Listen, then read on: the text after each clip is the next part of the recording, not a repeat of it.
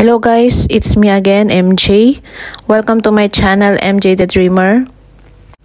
Ang video na aking ma-share sa inyo ngayon ay magluluto ako ng uh, Mr. Fry Broccoli.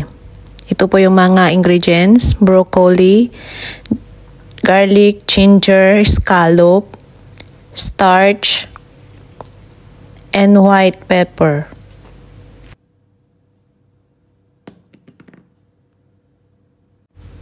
I-marinate natin yung scallop ng starch tsaka white pepper.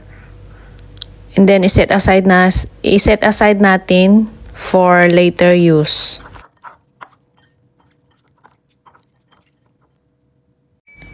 Maganda tayo ng tubig para sa pag-blanch natin sa ating broccoli.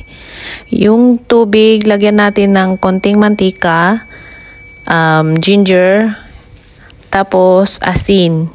Para yung kulay ng, ng broccoli ay green pa din. Kumukulo na yung tubig guys. So ilagay na natin yung broccoli. And then um, stir natin siya. Lutuin natin siya ng ano, mga i-blanch natin siya ng mga 1 to 2 minutes. Huwag natin siyang i-overcook guys kasi i-gigisa pa natin siya mamaya.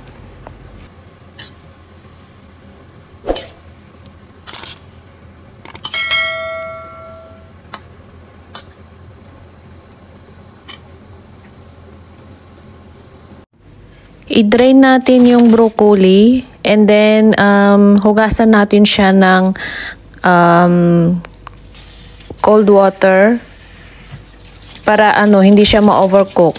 Tapos set aside natin para mamaya.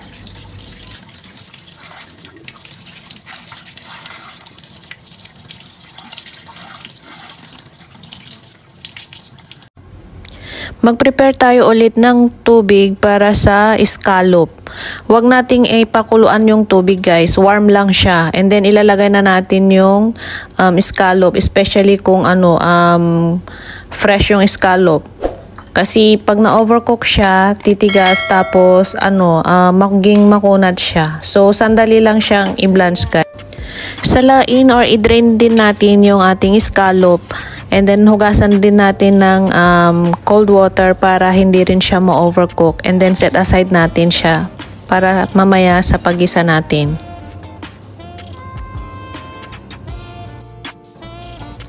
Pag mainit na po yung kawali, lagyan na natin ng ano ng mantika tapos igisa natin yung luya at saka yung bawang. And then pag nagisa na siya, Nagina, nagisa na yung bawang at saka yung luya, ilalagay na natin yung broccoli at saka yung scallop. Kaya yan yung sinasabi ko guys na huwag nyo siyang i-overcook pag nag-blanch kayo. Kasi igigisa natin siya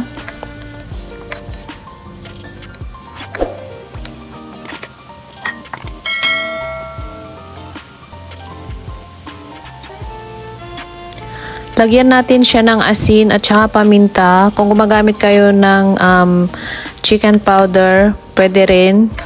Pampalasa sa niluto natin. And then, i-mix natin siya guys. Make sure na maihalo yung asin, tsaka yung paminta. Ngayon guys, gawin natin yung starch solution. I-dissolve natin yung starch sa tubig. I-mix natin siya na mabuti.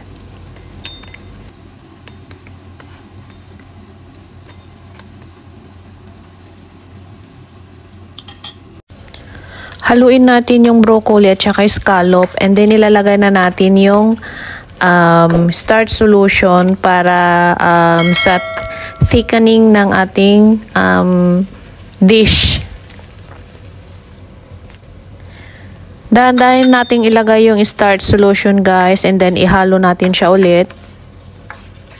Hanggang sa ano, yung maihalong mabuti yung um, starch solution.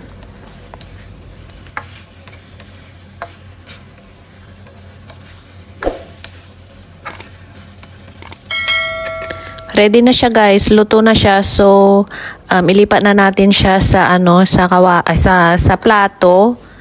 Yan. Thank you for watching guys. So ito na po yung aking niluto.